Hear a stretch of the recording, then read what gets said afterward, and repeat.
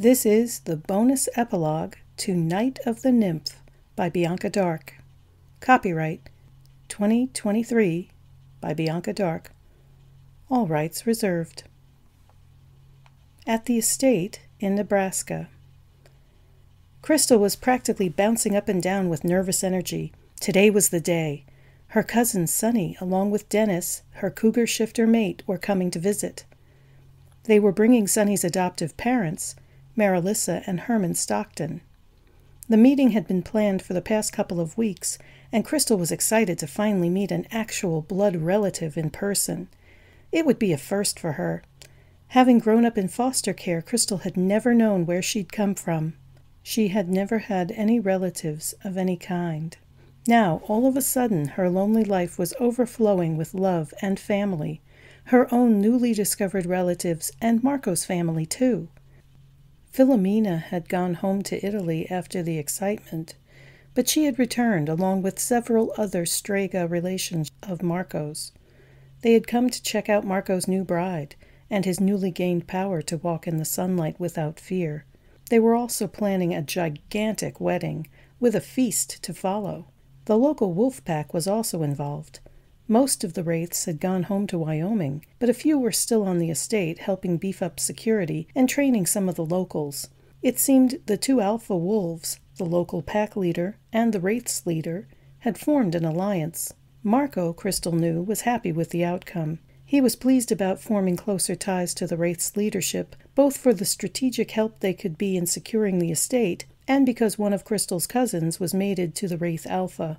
Marco was all about fostering closer connections on Crystal's behalf. He was such a considerate mate. He wanted her to have family, and he was willing to share his own with her, as well as sharing her with her own newfound family. Marco had a generosity of spirit that was unmatched in her experience. The longer they were together, the more she understood his feelings. She could hear echoes of his thoughts already, and he claimed that, as time went on, they would eventually be able to share each other's minds. That thought might have been scary with any other person, but Marco was the other half of her soul. She looked forward to the day that they were that close mentally as well as spiritually. Crystal was waiting on the front steps, peering down the long driveway, hoping to catch sight of the car they had sent to pick up their visitors at the local airstrip. The werewolf pack had taken care of all the arrangements, but Crystal found she could not wait serenely inside the house. No, she was too excited to just sit around. Finally, the stretch limousine Marco had rolled out just for this occasion showed at the end of the drive. Crystal was down the steps and shifting from foot to foot as it approached. Then she schooled herself to calm down. Marco came down the steps to stand beside her and put one arm around her waist. Relax, my love. You have spoken to Sonny many times over video. You know you both get along splendidly. This is going to go well, he told her, kissing her hair in a tender gesture that really helped calm any residual fears about not being liked in person. I'm just nervous. I never had any family before. I want her to like me, Crystal admitted in a tiny voice. She found it easy to speak her deepest fears to Marco, as she never had been able to do with anyone else. He understood her on the deepest level possible between two people, and he never judged. He was amazing in every way. She already does. And you already like her. Have no fear, he told her, giving her waist a reassuring squeeze. Then the cars were pulling up in front of them, and the doors were opening. Sonny was on this side of the car, but a big man who must be her mate stepped out first and looked around. He nodded to Marco, and Crystal was aware of Marco nodding back. Then the shifter stepped aside, and Sonny stood from the vehicle. Crystal rushed forward as Sonny did, and they met in the middle between the two men who watched indulgently. They hugged like the long lost family they were, and happy tears were shed on both sides. When they finally broke apart, Crystal saw that Sonny's parents had come around from the other side of the limo and were waiting behind their adopted daughter. Sonny made the introductions. We're very pleased to meet you, Herman said, shaking Marco's hand. Thank you for the invitation. You're very welcome, Marco replied cordially. I hope your trip here was pleasant. Very, Marilissa responded, smiling up at Marco. She had a kind smile, Crystal thought. This place is so grand.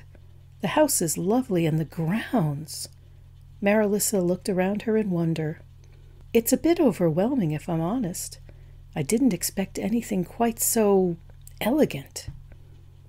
I hope you like the rest of the place, Marco said kindly. We've been renovating ever since I took ownership, but it still needs more work both physically and magically. Crystal liked Sonny's parents right off the bat, and she also was very conscious of the way Den looked after Sonny. It was clear that he was devoted to her, and Crystal liked that very much. He was a tall, silent, sun kissed blonde who would have intimidated Crystal just a few weeks ago, but now that she was with Marco, her confidence was at a whole new level. The six of them went into the house and paused in the entry. I know you've had a long journey, Crystal said, addressing the group. Would you like to see your rooms first and take a breather, or have a little tour of the place? Or, if you're hungry, we can grab a bite and some coffee in the dining room. What do you prefer? A consensus was reached that they'd like to pause for a snack in the dining room, then have the tour before checking out where they would be staying for the duration of their visit. They'd have time to decompress from the trip after the tour and before dinner, which worked well for all concerned. When they arrived in the dining room, the lunch crowd had cleared out, but the buffet was still available for stragglers. Den made up a huge dish, but Crystal didn't even blink. The man was a shifter, after all, and she'd gotten used to how much they all ate. Apparently, big cats were the same as wolves in that respect.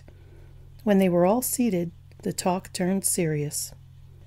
I'll be blunt, Herman said, leading off the conversation. My wife and I are both from large and very old magical families. However, our kind of magic and our philosophies don't mesh well with their teachings.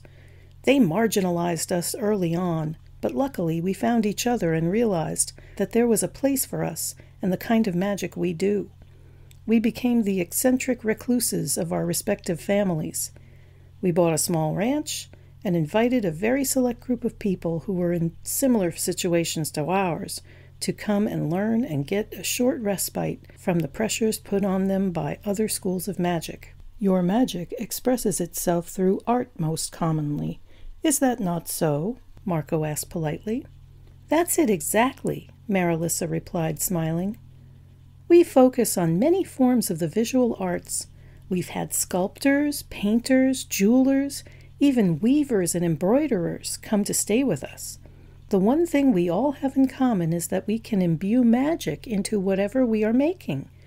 Most often, we make items that carry protective spells within their fabric that will help anyone we gift them to although a few of our students have gone on to sell their art. Even a mage has to make a living somehow. Marco was nodding. I have seen this sort of magic in the past, on both sides of the equation. That's one thing we demand of anyone who studies with us, Herman rushed to assure Marco. They must be servants of the light, using their magic only for good. We will not tolerate anything else. That is precisely what I wanted to hear, Marco replied. I'm not sure how much you've heard about this estate, but there were many objects here that were imbued with evil magic. Until Crystal arrived, I had thought the place cleansed of such items, but her special kind of magic revealed that the rest of us had overlooked quite a few things, including an ancient artifact that can connect this realm with one of pure evil. Marco looked at Crystal. They had decided ahead of time what to share with these people. If this works out, Crystal said, you should know that there is something here that we have become the default caretakers of, that must be kept out of the enemy's hands at all costs. That sounds rather dire, Marilissa said, a little frown between her eyebrows. Marco sighed. It is, but we have no choice. An artifact was left here that is simply too dangerous to let out of our control. Perhaps someday we can come up with a better way to dispose of it or hide it, but for now it has to remain on the estate under guard. We are very closely allied to the local wolf pack. They have been running security under guidance of some of Jesse's men. These people knew Jesse Moore well, and probably most of his people. The Wraiths were well known in shifter circles for their unmatched military prowess and stealth skills. Although we didn't mix much with shifters before our Sonny met Den, we are all friends now. Marilissa smiled fondly at her new son in law. I don't foresee any problems working with werewolves. We've been staying with the Wyoming pack since our ranch became unsafe. I think they must have told you already that we can't go back there. The bad guys know where we live now, and it's just not safe. Herman shook his head with regret. Sonny told me, Crystal said. I'm so sorry. Everyone was silent for a moment before Marco continued. So, essentially, what you ran was a clandestine school of magery. You serve the light, and you take on only a small number of students that are carefully curated. I believe this would be a good fit, and could even help protect this estate into the future. Marco paused for a moment. I have to warn you, though, that the bad guys, as you call them, were in control of this place for a very long time. Some of their followers escaped the cleanse and have tried to infiltrate recently. We've dealt with them on a case by case basis and will continue to do so. That's one of the reasons security is so tight around here and for my alliance with the wolves. You won't be living in secret as you did on your ranch, but you will have much more protection. Since the enemy knows of your existence now and your relation to some very powerful others through your daughter, I don't think you can really go back into hiding with much success, I'm sorry to say. Essentially, this is your best bet for staying safe and continuing your good work. Herman nodded slowly. We've come to that realization ourselves. It will be a long time before the other side forgets about us, so we're going to have to come up with a new solution. My first impression is that this place is way too grand for the likes of us. Herman chuckled self consciously. But otherwise, the setup is ideal. Then, if you're finished with your repast, Marco stood from the table, we should probably get on with the tour. There's a lot to see. They spent the next two hours traveling as a group from place to place around the estate. Their guests seemed very impressed with the work that was ongoing to restore the house and grounds, and they asked good questions that impressed Crystal and Marco both. Herman and Marilissa seemed especially interested in the outbuildings. There were several that were empty at the moment, and the couple seemed to think that they were suitable for studio space. In my youth, Marco said at one point, I knew a mage who specialized in metalsmithing. He made common items, such as shoes for special horses, that would protect them and even heal them in certain circumstances, as well as things like knives and swords that could help protect their bearers from evil. I have always wondered if that kind of thing was still practiced in these modern days. If you ever come across such a person, I would be very willing to build a forge here on the estate. Just something to keep in mind. When they returned to the house, Marco and Crystal showed their guests to their rooms so they could freshen up before dinner. Then Marco and Crystal went down to the office and looked over the maps for a bit, discussing some of the ideas Herman and Marilissa had been tossing around for the outbuildings.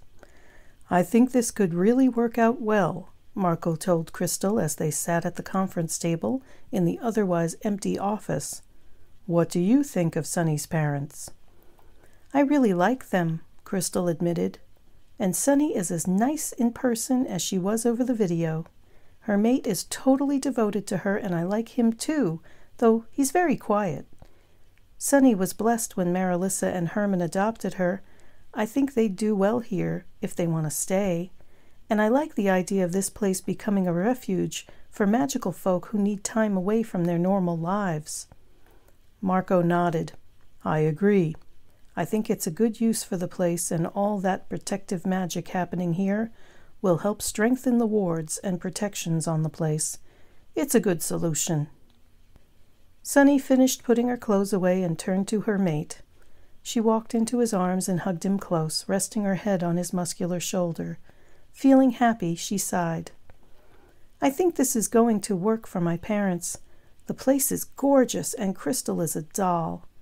What do you think? Sonny asked Den, hoping he agreed.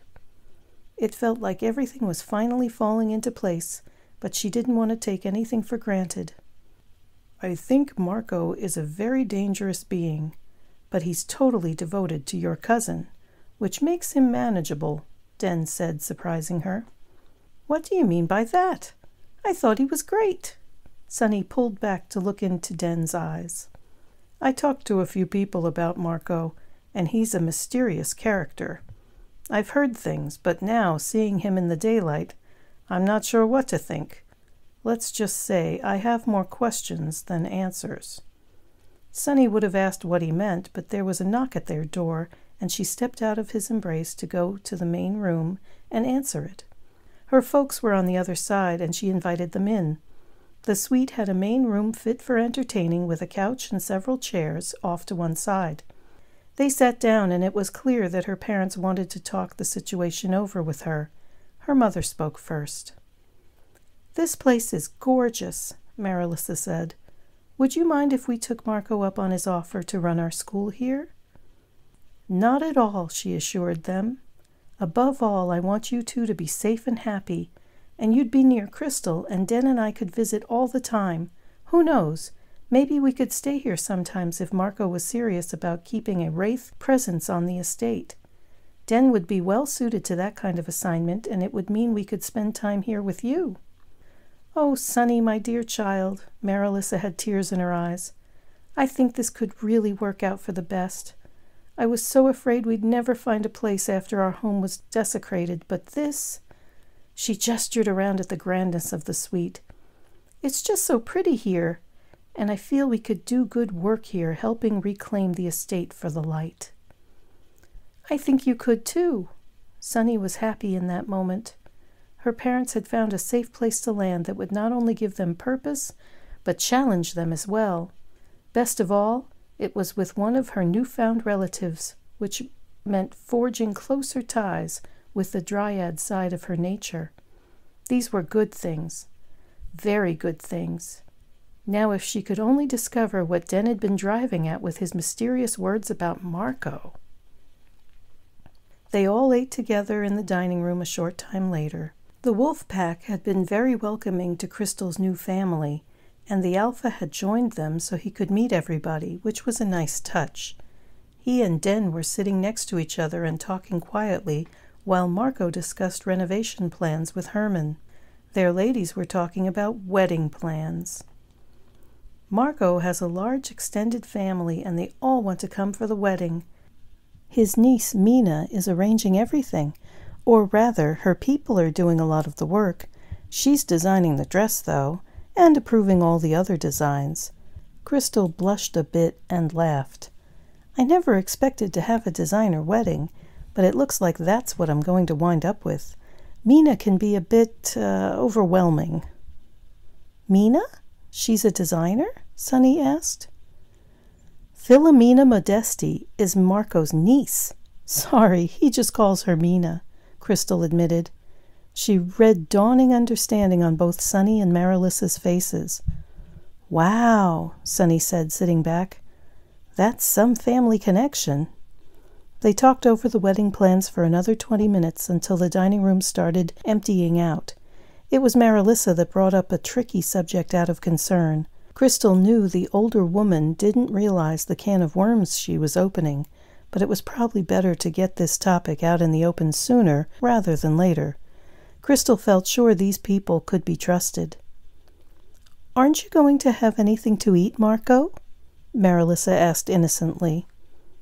Marco stilled, as did Den and the other shifters. No, madam, I do not eat, but thank you for your concern.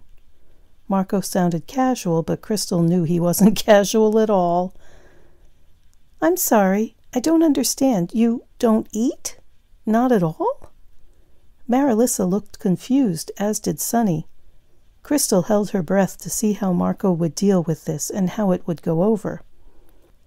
It's good to know my allies haven't been telling tales about me, but if you are going to live here, you need to know. I was born in 1327 in Messina, Italy, to a magical family of Strega. Many of the women in my family have strong magical abilities, and I had some measure of magic as well. When the plague came to my home, brought by ships and guided by the invisible hands of the Veneficus, I fought to keep it from spreading, but was injured in a battle with a Veneficus mage, far from home. A bloodletter came to me and offered to share her immortality with me in thanks for saving her hometown. I accepted and became a bloodletter. Eventually, I returned to my family much changed, but they accepted me after realizing that I had not changed into a creature of evil.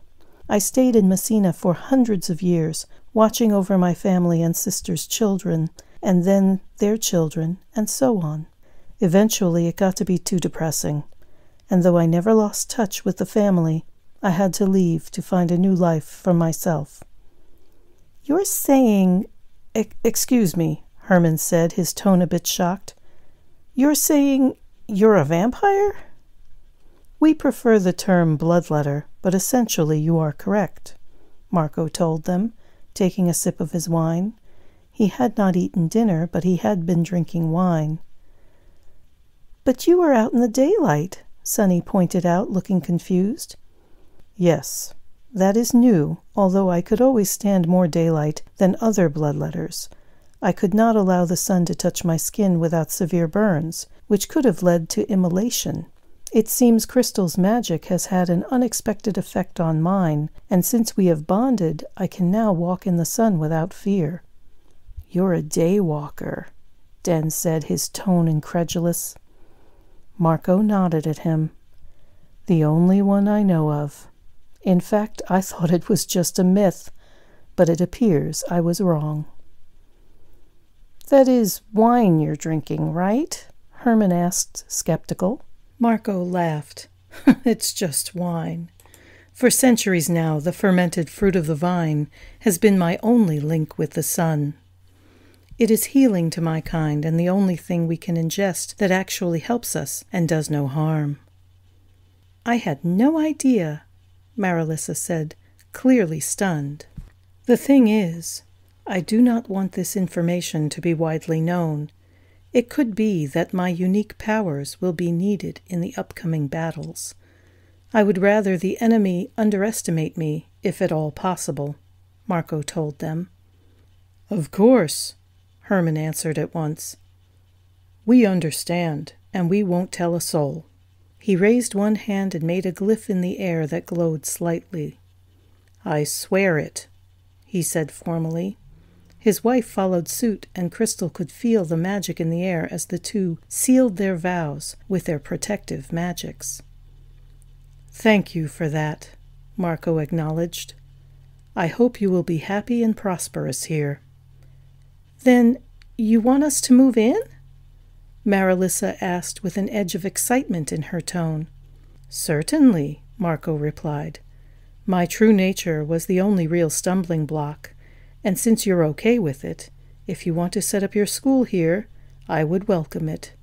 I know Crystal does too, since that means she might get to see Sonny more often. Marco smiled and reached out to take Crystal's hand, squeezing her fingers gently.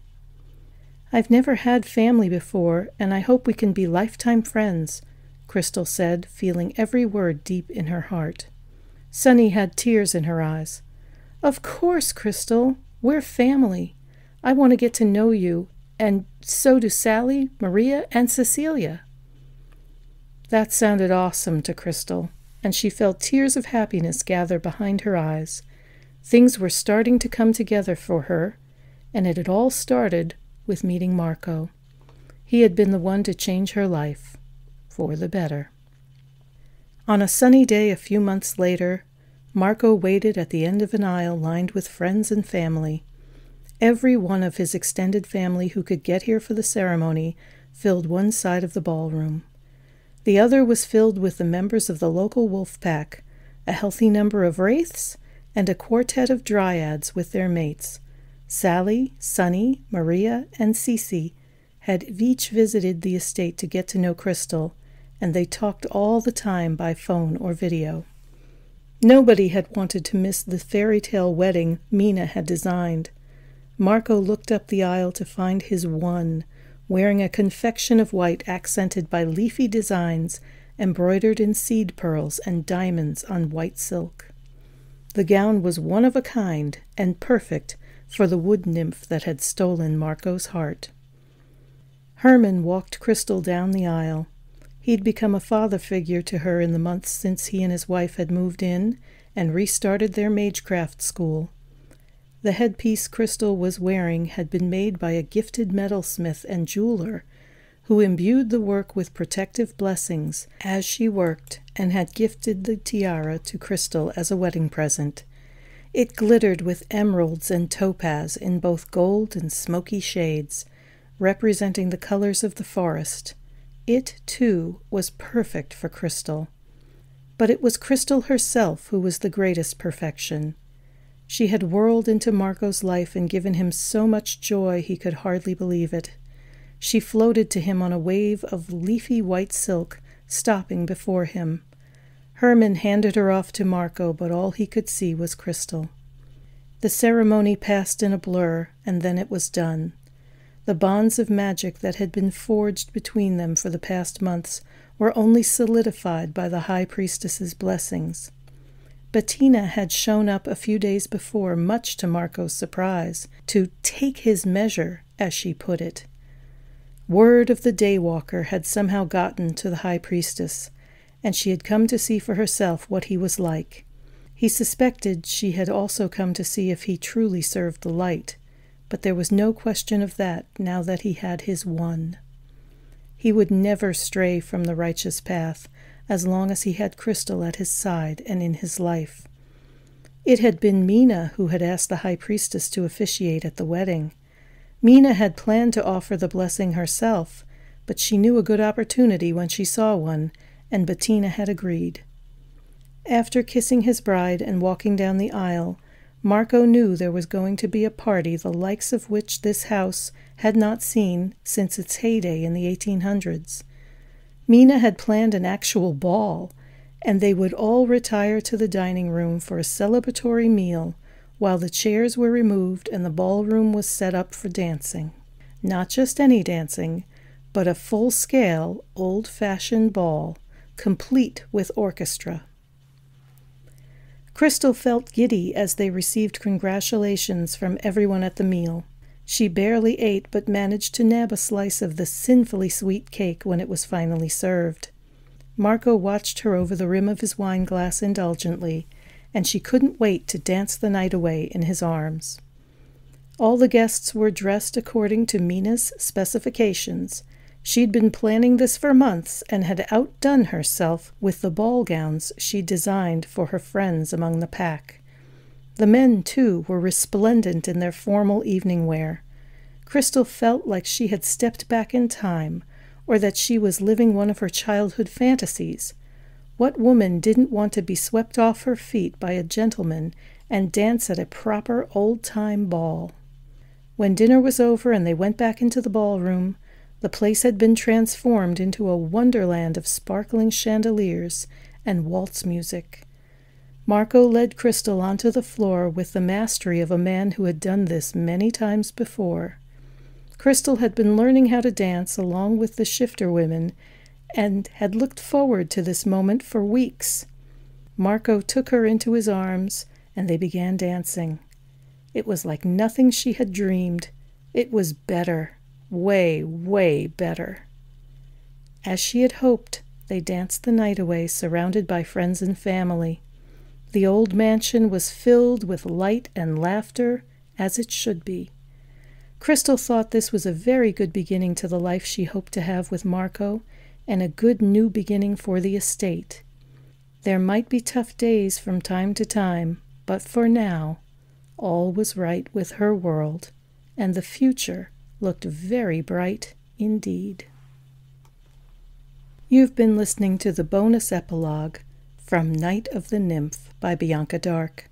The next book in the series is called Wildwood in Winter. The following book, titled The Elven Star, will bring the culmination of the Dryad storyline.